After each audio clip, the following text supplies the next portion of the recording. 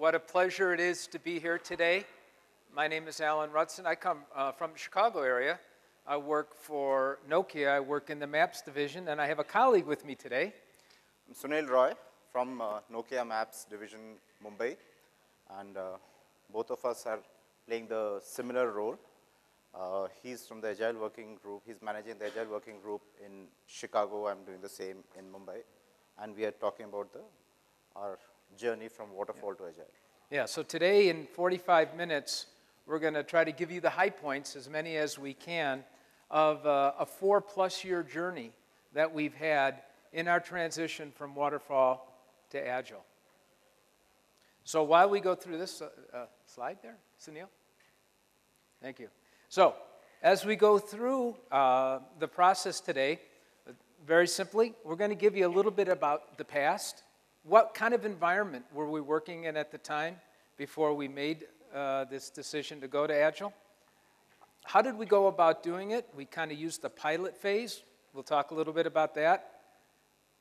When was that moment that we made the decision to do the rollout? How did that go?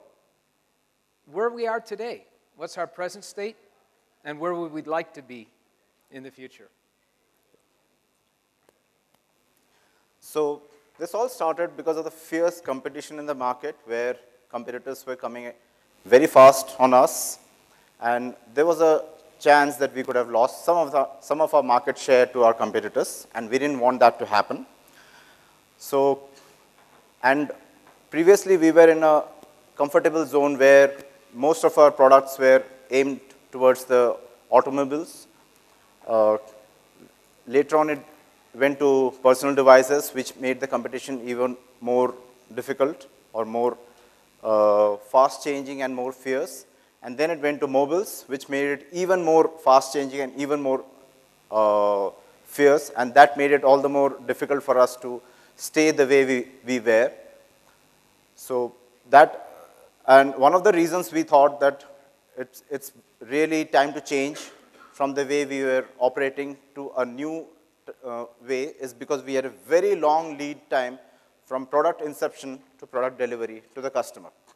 And it was a very long time that products would finally get delivered to the customer. And in the, in the frame of things where mobile was driving the uh, business to a large extent, it was just not possible to go, go along with the long lead time. Yeah, so that's correct. So what we had was uh, changing competitors, very aggressive competitors, because our market was changing. And our executives knew that. Uh, back one. We went too far. Okay. Sorry, go ahead. You're right. So, what was it? I'm, I'm ahead of myself. Go ahead, a slide. Thank you very much. Okay. So, how were we organized? Why, why was it that we weren't ready to compete with our competitors? Well, our development organization as it is today, was in multiple locations. We are a global organization. We had development staff in Chicago, we had development staff in Mumbai, Eastern Europe, and Germany. That wasn't so much of a problem as it was how we were organized. It was a very matrixed organization. We had a team of system analysts or business analysts, requirements analysts. They went by several names, but they reported within their organization we had developers, and they reported up the line to their organization. Same thing with the testers and software project managers. That's the area that I came out of as a software project manager, and I reported up to a whole different person of those other four organizations. What happens when you're set up like this? You know. You get silos, and the, the political boundaries, and the people fighting for their space it's very difficult to work in that type of environment. People working on multiple projects was a given. You never really had one person 100% dedicated to a project. I can remember going and pleading to development managers for a resource on what to me obviously was a very important project. It was the one I was responsible for, and I was told the person I needed with the right skill set, I could have 10% of his time. What is 10% of a person's time? to work on a project. Basically, it's nothing. What was the environment like in Mumbai? Oh, it was very similar, where, uh, where if a problem came up, if a defect came up or some requirement got messed up or some design got messed up, everybody would say, this is not my problem, this is their problem. The developers would say it's the design issue, talk to the architect. The testers would say, oh, the coders didn't do their job well. The developers would say, I don't know, the tester did not understand the requirement well probably. Probably the requirement person did not explain it well. So it was all about who, who to put, put the blame on. And it was all about, this is not my issue, right? That, that's, that's the past. And does anybody relate to that? Does anybody think about that? Anybody? Yep. So there would be a lot of hands who have either seen that in the past or still face the same issue. And it was about developer versus tester mindset, developer versus architect mindset, developer versus the analyst mindset. And there's no, nobody, no single team that could be held responsible or felt responsible, not about holding responsible, but no, there was no group which felt responsible towards the product, or there was no single group that thought about the customer in the first place. The developer very rarely had any say in what kind of product should go to the customer. He, had, he never had a role to play in what the customer need, needs really. He just had to take the requirement document, design document, implement it. Not so bad really, but he did not have much say in what the customer should get. He never could think about it because he, were, he was never given the chance about it. The architecture used to be very rigid. It was done upfront. It was very difficult to make changes later because they never thought of making it flexible because it was not evolutionary in the first place. So they thought of the perfect ar architecture upfront and therefore, therefore it was rigid if there was a late requirement change and everything went boom. And, and that's right, because why? Because we were in a waterfall environment. Yep. Next slide. And Not working too well. Okay, Yep, good. so- Very strict waterfall environment, right, Sunil? Yep. So we had phases. We had requirement phase ending with a requirement document, different types of requirement documents. Then we had architecture document, high-level architecture document, low-level architecture document. Then we had implementation where the coders would go and actually uh, code it. They would do unit tests, then they would pass it to the testing team, which may or may not be in the same center or in the same location. It may be somewhere else, or it's a separate group altogether and then they test it, they report, the, report back the problem, it goes right back to the de development team. These things have been, a, have been happening over decades, right? And you know that, and we know that, everybody knows that. And then it goes to deployment if they, they were lucky enough to solve all the problems. Right. So this was the earlier state. So this led to the issues that we were having. Why was our competitors beating us to the market? We are an innovative company. We had the same great ideas that they had, but they were continually beating us to the market. Executive leadership recognized this, and they realized there was a do or die type situation. They took it that way, and I, I think that really helped us be able to move forward.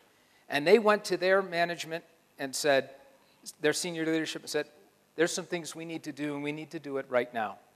We need to reduce our cycle time by 50% we need to ensure the quality of our software. If there was one niche that we had that, that we were beating our competitors in, it was the quality of the product that we delivered.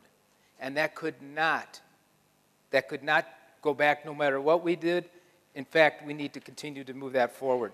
So a speed to market initiative was initiated at that point. And this is late 2009, early 2010. And it wasn't necessarily thought of, oh, we got to go agile at this point. It was, what do we have to do to our processes?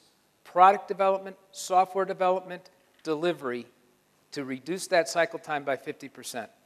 So management was driving it right from the beginning, from a CCO, the CEO, and senior managers right on down the line. And just to uh, elaborate what he said about the quality, the quality that went to the customer was top class, but yes, within the development organization or within the development group, there were some defects found which the testers would catch, and we had multiple le levels, phases of testing, because of which the ultimate product that went to the customer was good. But there were some defects found, defects found in the development stage, and we wanted to improve that also. Yep. So, there was something happening right around the same time, Agile was starting to creep in, not officially. We had a, a couple of unofficial, under the table Agile projects. In fact, we couldn't even say the word Agile or Scrum.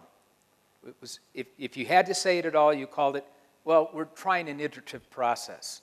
Uh, I was lucky enough to be uh, leading one of those under the table. Uh, didn't make a lot of splash uh, higher up than just my immediate manager, but there was a project that I had that never could get off the ground. Every time we got into the development phase, if we got into the development phase, within a month, we had to stop. And what did we have to do? Go back to the requirements side. I had a consultant working for me. She was knowledgeable in uh, Agile Scrum. I had no, no uh, prior understanding or readings or anything about it at all. I thought, let me give this a try. We've tried it the other way three times and it failed. Convinced the development manager to give me two people full time, unheard of. Convinced the testing manager to give me a full time person. Put them in their own room. The consultant guided him. She kind of acted as their scrum master. I got the requirements analyst on board. We picked out the highest business value that he could define out of the, the document that was this, this big, restructured it, as you should, into meaningful stories in nine sprints, 18 weeks. We delivered something on that project. In the previous 18 months, we could not. So I knew there was something there. We were getting good results with some of the other under the table projects. And we presented it. When the Speed to Market initiative was kicked off, my manager and some of the other managers presented it as an alternative, something we should look into. And the wisdom of the, the senior level management said, let's find out more about it. Brought some consultants in in 2009, heard about Agile. Uh, there was still, you know, boy, is this really the right thing to do? A lot of people put a lot of time and effort into building our gated environment, our waterfall environment. And we were a large organization. We did some of the research on our own, we couldn't find many concrete examples of where Agile was used in large organizations. Scaling hadn't taken hold yet, so it was, you know, small, small organizations, team by team thing. But there was something there. We could see it. We said we'd give it a shot. Unfortunately, this under the table Agile tries or trials could not be done in Mumbai Center at that time in those days because the Mumbai Center was still in a service organization mode. We were not yep. yet part of the organization. That's correct. We were part of a different organization working for NAVTEQ or the Nokia Maps division. La later on, we became Nokia Maps. So now we are Nokia Map, uh, Maps employees, but back then we were not. Yep. So pilots were the way to go. And we presented Agile to the larger organization, and this is, this is the reaction we got. You got to be kidding, right? It's going to cause us more issues than we've got right now. There's no structure to it. We're going to go back to the old ways. We spent a lot of time and money getting us to the process that we had training, resources, and now we're going to go back to the cowboy ways? And again, other things we talked about smaller companies can't put it in a large company. What tools are we going to have? We're in multiple locations, large teams. And why should we be on the bleeding edge of doing this kind of thing? Why don't we just wait to see how it all, it may never be anything uh, to begin with. But we addressed those initial reactions, went forward with the pilots. Next slide. Thanks. Started small. Three teams in Chicago early in 2010, but word of mouth started to get, started to get out there. The teams were starting to enjoy what they were doing. The stakeholders starting to enjoy coming to sprint reviews. We actually had to go to larger rooms because we were getting overflow, uh, overflow crowds into the sprint reviews because they loved hearing what was happening, what was progressing, two weeks at a time. After two, after two months, seven projects were now uh, in a pilot phase. And we had reached our limit. We had one outside consultant, no external coaches, and a group of volunteers. We still had our day jobs. I was still a software project manager. That was my daytime job. I was working as much time as I could to help support these agile um, pilots that we were doing, these scrum pilots that we were doing. But there were some pilots going on in Mumbai too, Yeah, right, Sunil? so, so two pilots started in Mumbai at the same time because now there was more acceptance am- among the senior management to allow these pilots. So two pilots started in Mumbai also. So we, the Agile evangelists, started helping them, uh, helping them and uh, grouping them as a uh, self-sufficient team. Like there would be developers, there would be testers, there would be uh, the analyst would turn up as the would become the product owner. The architect would get mapped to the team. So we created a few co-located teams to make sure that they are self-sufficient. But uh, that was not enough. We had to support them for a few sprints to get them going, and that helped us a lot. So, the pilots were over, and the results were fairly positive. And senior management wanted to know what could we do next? What should we do next? And we presented the results, and we told them, if you want to go forward, if you're happy with what you're seeing, it's got to be a full-scale rollout. It's got to be through the organization. This is not going to be five teams in one program, three teams in another, and it, uh, an organic type of growth. It's going to be a organized rollout at the organization level. You're going to have to stop getting part-time people working on this project. You're going to have to develop a, a team of people called the Agile Working Group, and they're going to drive what the, the organization needs. So we form that. We're going to need more outside expertise. You can't expect the people we have internally to know everything there needs to know. We brought in expert coaches. We built our own in-house training. Not that we needed to be different than the teachings of Agile and Scrum, but there were ways that it need to be implemented in our organization and ways that it worked best in our organization, and we realized that and built our own training. We brought in more experts, more of the um, subject matter experts in their field for the certain things that they could bring to our company. Dean Leffingwell, Mike Cohn, Esther Derby, um, Mary Poppendieck, and Johanna Rothman. It's a thrill today when I come to conferences like this and see these, these folks again and again and know that they were in our offices working with our people, training, consulting, and guiding us. And as a matter of fact, I'll tell you a little story at this point. We were running the pilots, got started into the rollout, and there was one layer of management that was very, uh, still hadn't came full bore into what we wanted to do.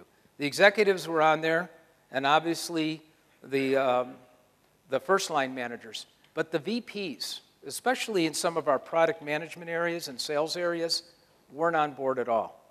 We were working with Dean at the time, and there was going to be an off-site retreat for the, the vice president. So we asked Dean for his help, and how can we move this group of people? And Dean kindly got down in front of a camera, gave us a 12-minute video, and that, that 12 minutes sold it. Um, we still have that video today, Dean, and uh, from time to time we go back and revisit. It's a powerful 12 minutes. We brought those group of people on after that, and uh, things moved forward much quickly. We wanted always to know how we were doing during the rollout. We used a tool called the, um, excuse me, the Comparative Agility Assessment. This is uh, uh, Kenny Rubin's organization that does this. It's a great tool, about a 60 some question survey, team by team level, and it compares eight dimensions of agility against the market, against this industry, that a large database that he's grown. If you haven't heard about it, I suggest you go out there and look at it. We've been able to trend how well our teams are doing in all of those uh, dimensions of agility. Uh, Robert Abernathy was up here talking about bad apples. We found those guys, but we didn't ignore them. We, we sought them out and we talked to them. And many of them converted over. There's always a few that's not going to, and that's unfortunate, they need to go to another place to learn how to uh, do their, apply their trade. But in the most part, people realized that they could work with this environment. And Sunil, what was some of the, uh, Yeah. the processes of the rollout in Mumbai? Yeah. So, Aaron, here's the thing. In Mumbai, what happened is after uh, the pilots were hugely successful, the talk of the success of the pilots started exciting the other developers. Developers, by, by now, developers, I mean co- people who code, people who test, everybody. And that was the talk of the center at that time. Everybody was discussing at the lunchtime or coffee time as to what exactly are they doing. They try to, other people try to understand what, what, what are the challenges, how are they facing it, how are we helping them cope up with those challenges. Because the agile transformation did have challenges, and how are we helping them cope up with it. So those interactions help them to understand that it is a possible transformation and agile is possible. And then we also started talking to the other teams to find out what, what kind of readiness they are in. And when the rollout became official, uh, the, the way we started is we selected few teams from every program, got them into Agile and Scrum mode, helped them become co-located teams, and started the same, repeated the same pro process to repeat the success again. And this, the second round of success was actually the point where we really took off.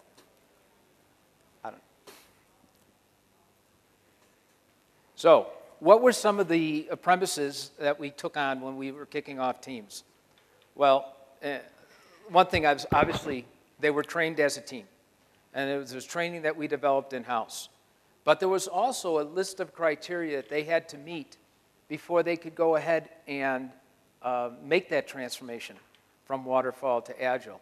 It wasn't a directive that said, this team, this date, you're going to convert. It's when teams were ready.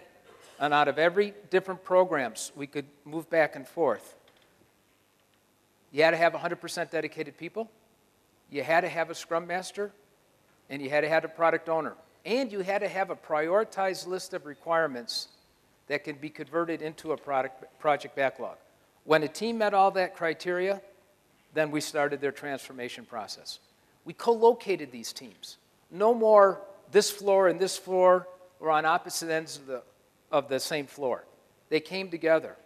And one thing we did um, as we started to put them together, we reconstructed the whole floors and created agile pods, an area where eight to 10 people could work together, have the tools they need to collaborate and do their work, 55 inch monitors, whiteboards, their own personal space, as well as a common space within their working area. No more setting up meeting rooms or sending out emails. You needed to talk to somebody on your team, you turned around and you started a conversation with them. This, this is part of the environment piece of a transformation, but understand there are three areas that you really have to concentrate on. And I think by concentrating on these three areas like we did, it helped our success. It's the process for sure, the culture, and then the environment. Sunil? Yeah, Anything on this? yeah. In, in Mumbai, the way we did it is that for kicking off the for kicking off the rollout, what we did is we identified the teams that have already started working in the agile mode, and we made sure that all, all of them are properly trained in agile and scrum. And we also identified who the scrum masters would be and got them trained as scrum masters, got the uh, product owners trained as product owners so that they, they are able to work efficiently as product owners. They understand what a product owner ro role, roles and responsibilities are. The scrum masters are able to resolve the imped impediments on, on a daily basis. And the teams are able to make decisions on a daily basis rather than looking at the manager and thinking that he will give the decision. So by this time, those pilot teams had started making the decisions on their own, which was a, a big, big, a huge win for, the, for uh, rolling out Agile on a full scale throughout the organization. So I think the, the teams being able to make decision on their own that was the biggest, biggest difference. So yeah, so some of the things that changed, Sunil just mentioned how the team started to really make decisions on their own.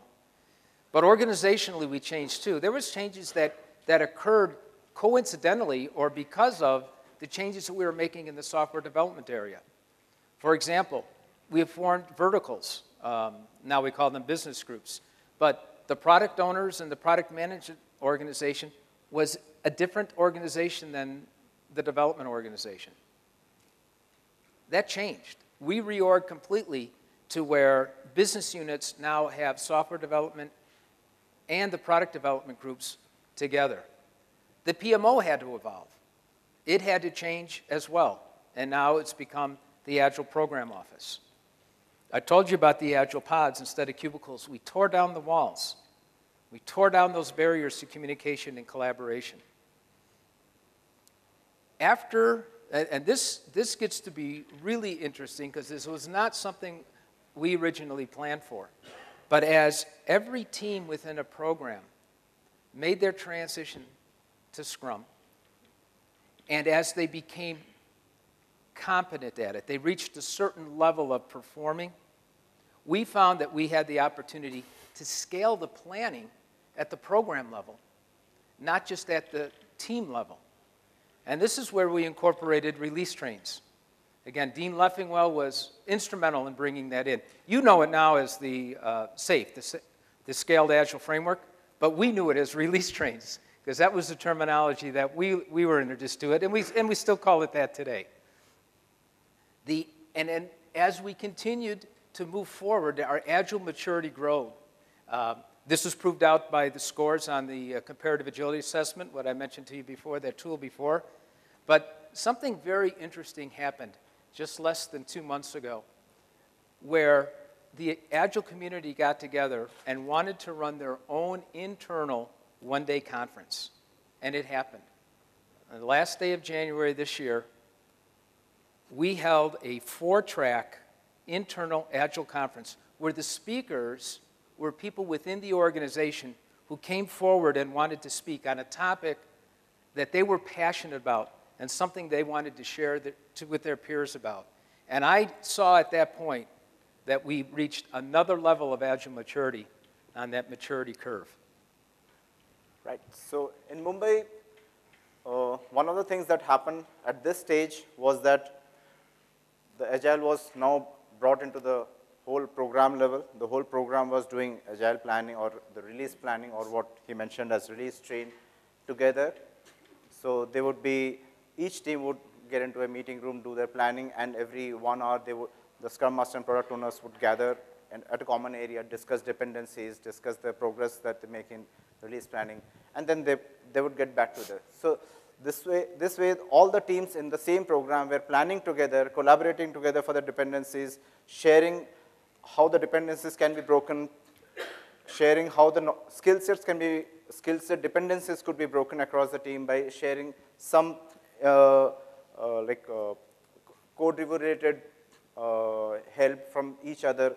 So the previously each team was going agile, but now the whole program went agile and they started sharing among themselves. Yeah where they would help each other in engineering practices, they would help each other in code reviews, they would help each other in uh, certain areas of the framework or certain areas of the domain. And now the program was agile, and that was the fun part, where the where we actually scaled to a, a new level.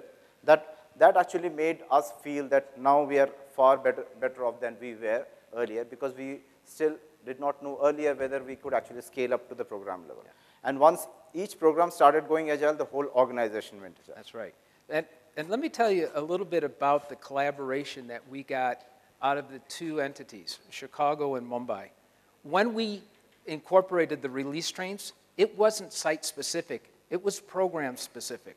And we had scrum teams both in Chicago and Mumbai.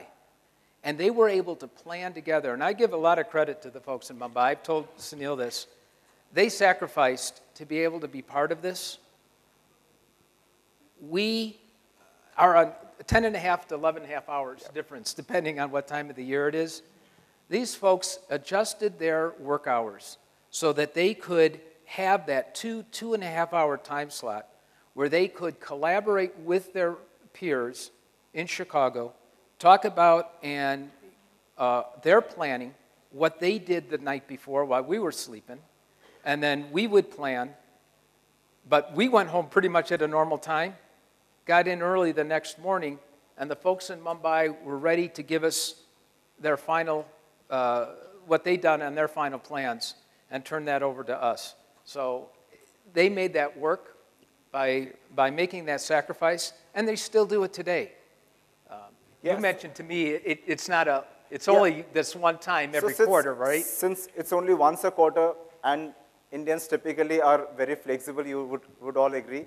So it was not very difficult for us to adjust to this odd time schedules once, once in a quarter.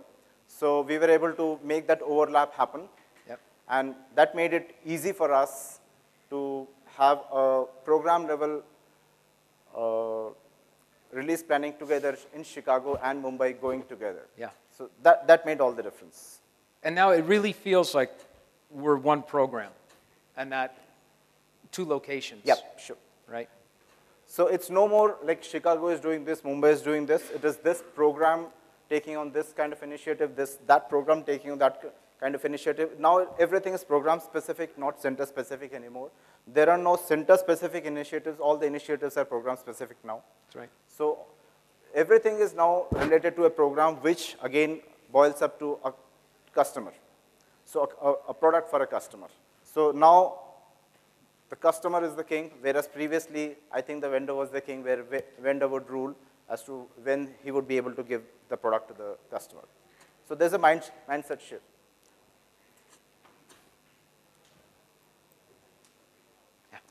Nope. Ah, Nope. There you go. sorry.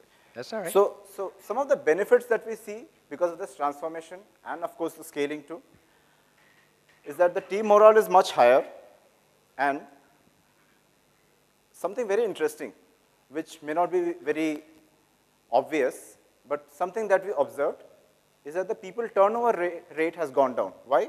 Because now they're not put under pressure by the managers saying that you have to meet this schedule, or the planning may have been done, may have gone wrong from the project manager side, and now he has to protect that plan, and now he puts pressure uh, onto the teams. That situation went away. Now it's the teams that plan, so they're a happier lot now.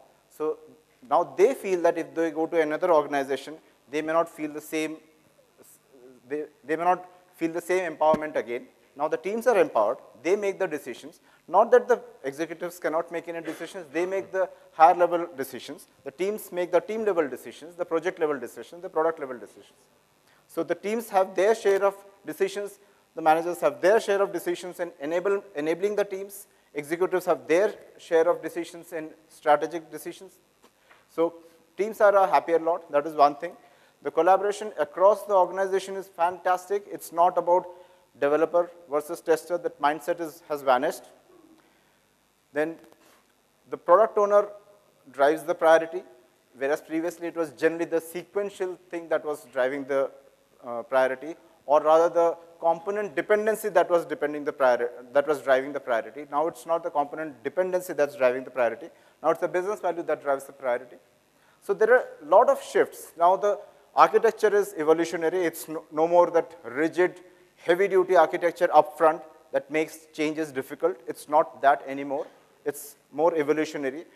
But there are new teams that are coming, coming on board as agile teams. So for them, we have to again do the whole process again. So there are a lot of, lot of changes. There are cultural changes that people are more open to uh, controlled conflicts, I mean healthy conflicts. Previously that culture was not there. It was a fight between a developer and tester all the time. But now it's, there are healthy conflicts in the team, though we try to coach the teams in a manner that they understand what's a healthy conflict versus personal conflicts. We have to coach them regularly uh, to improve th- that aspect. Then there is no more like, it's not my problem. That attitude has gone. So there are a lot of cultural changes that has happened uh, in the agile teams. The people have changed. The mindset has, mindset has changed. The way they collaborate has changed. The, the way they make decisions, they are now deci- decision makers rather than following decisions from the manager. So they don't follow now. They make their own decisions and they go ahead. And they commit to the decisions that they make and they make it happen. That, that's the biggest part. That they, they are making the decisions, they are committing to it, and they are making it happen. That, that, that, that has made the culture change possible. And another, another thing that I see is that the, the, it is very easy to now start any new practice, whether it's a new agile practice or whether it's a new engineering practice, it's very easy to start now because now they're thinking in the same direction. Now it's a co-located team. So if you want to start a new practice for a particular project, you can do it very easily. They are not five developers sitting across the floor. So every, everything that you want to start, any good practice that you want to start, it's very easy to start. So there are a lot of benefits that we have seen. And as a result, the speed to market initiative has been realized. Yeah. We have been able to reduce our uh, product inception to product delivery by a huge uh, percentage. That time gap has well, reduced. Yeah, actually it was uh, 27 weeks, yeah. right? Almost eight months that we've been able to take off, seven months to take off just as a result of what we did to change our software development process. There were other efforts going on, uh, the Speed to Market initiative. It wasn't just all put on this agile transformation, but just the software development process alone, we saved or, or cut off of our life cycle seven months. Yep. So, next slide. So I think the speed, speed to market initiative was realized and the, the quality that takes on, uh, yeah. the quality that is delivered by each developer is also better. It's not just the quality that goes to the end customer, but also quality yeah. at each state. Quality that, that is good. So yes, now there is a doubt. feeling that everybody owns quality. Previously, the quality team was the quality assurance team. I mean, rather the testing team was the quality assurance team. But now everybody in the team, whether it is the product owner, the, the person who's coding, the person who's testing, the subject matter experts, everybody now thinks that he owns the quality. So that mindset shift is again a big, big win for us. Okay. Next slide. So we're done, right? In fact, I had people come up to me and said, congratulations, you, you did it. 66 teams, 520 people, 22 months. The organization is now running as an agile organization, at least our software development side, and, and some, some of the other areas of the organization. What are you going to do now? You know, what's your next job? And I was like, wow, we really communicated the wrong message here, right? We got so involved with the transformation that we didn't think about what, what people were thinking afterwards. And they were thinking, you're done. Somebody actually asked me, so are you still going to be in, uh, in the Agile work group? Are you going to close down Agile work group? Are you again going to be the Scrum Master as you used to be? So that was a shocker to me. I said, why do you ask? He said, we are Agile, so what are you going to do now? Yeah. So yeah, you're at, we're Agile. What do you have to do?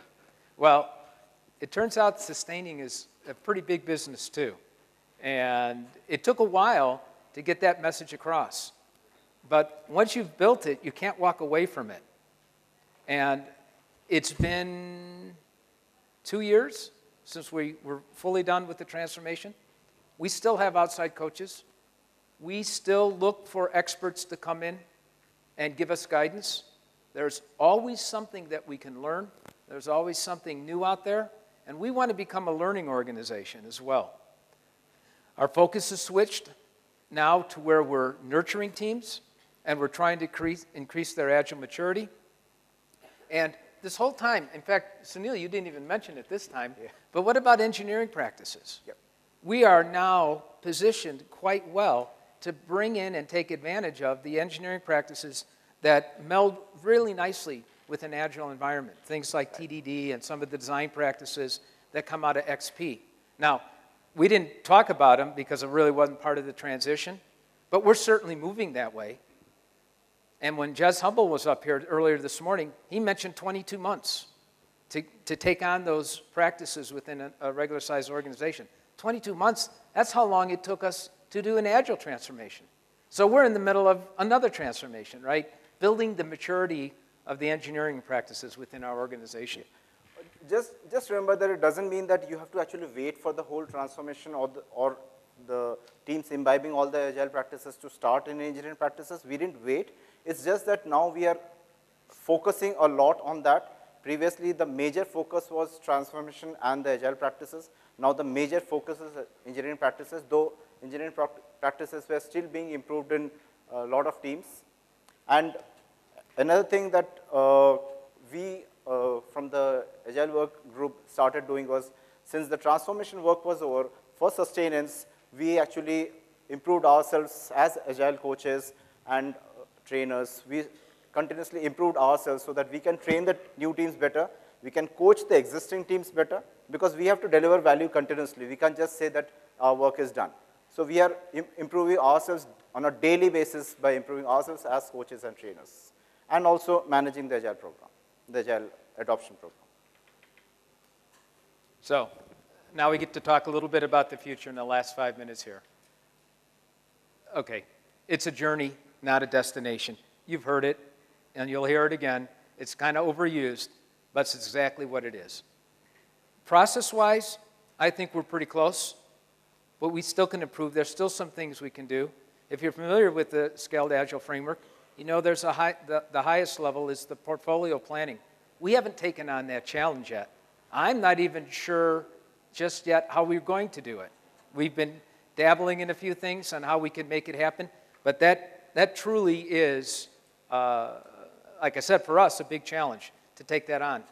And if we don't pay attention to what their teams are doing, you know what's going to happen. They're going to revert back to some sloppy practices or the bad habits that we get into. We don't want to go backwards, we want to go forward. We want to become a learning organization. And so we're going to continually look for things that can improve what we do and how we do it. And once again, engineering practices, we want to raise the maturity level within our organization as well. So, and as I said, we want to be a learning environment, right? Yep. Right. You so, want to sh share ideas? Go yep. ahead. So for the future, the things that we are trying we are trying to focus on now is the improving the learning environment itself, which means that there should be more uh, short trainings because the long agile and scrum trainings are mostly done for most of the teams, but then there are new teams coming up which need to be trained full time. But there are short trainings on agile practices which which help them. Then there are, another thing that we're trying to embrace now is sharing uh, across the teams, which is through the community of practices. So we have created a Scrum Master, Scrum Master community of practices where the Scrum Masters gather once a week and share their ideas and challenges, of course.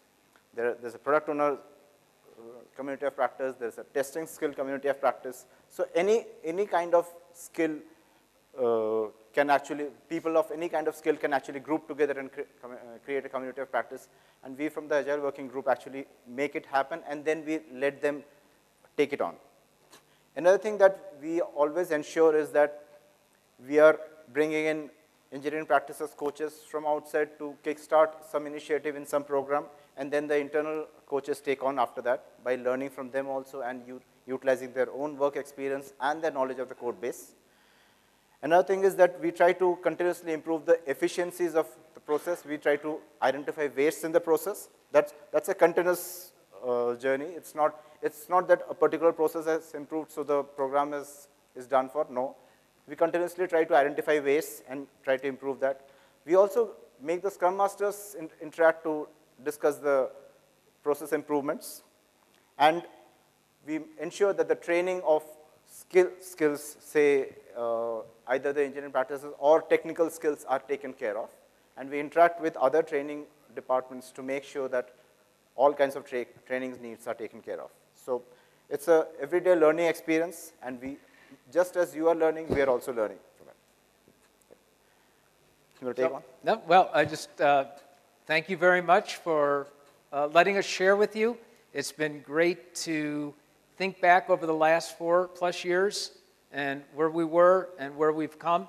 Uh, I hope we hit enough of the high points uh, to, make, to make you understand how we, you know, why we feel good about what we did. And uh, Sunil and I will be here yeah. for any, any questions. Right. Things, right. So, so any questions you have either now or later, today and tomorrow, I'll be there till tomorrow. He is there all the day today. So any questions you have about the challenges that you guys are facing towards adoption or scaling or even starting anything related to Agile or Scrum or Kanban or anything or any team behavior related issue or something not being done, you can approach us. We are ready to help. Thank you. Thank you very much.